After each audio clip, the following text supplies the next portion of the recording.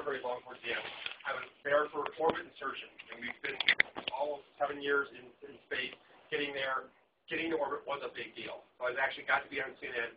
But the day I was leaving my home, okay, I was leaving my home, I knew I was going to sleep here at NJP. I knew I was going to be on CNN all day, sleep here at night for a few hours. Ring imagery was coming down that night because our closest point in the rings was, was, was over, you know, when we orbit insertion, and then more media the next day. So they're finally making a big deal about Cassini. We're, going to go into orbit. We're going to start our, our, start our tour.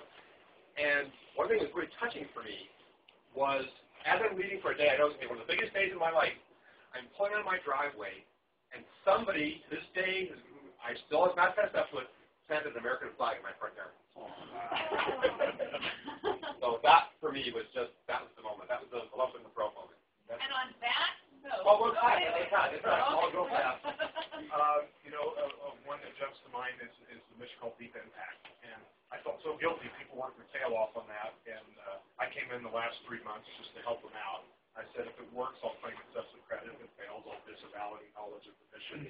So I was still working on Cassini. But seeing that first picture where we where the comet ran over us and that glorious explosion, you know, of uh, uh, of uh, gas and dust coming off the comet. I remember being in this room. I was just I was giggling like a schoolboy.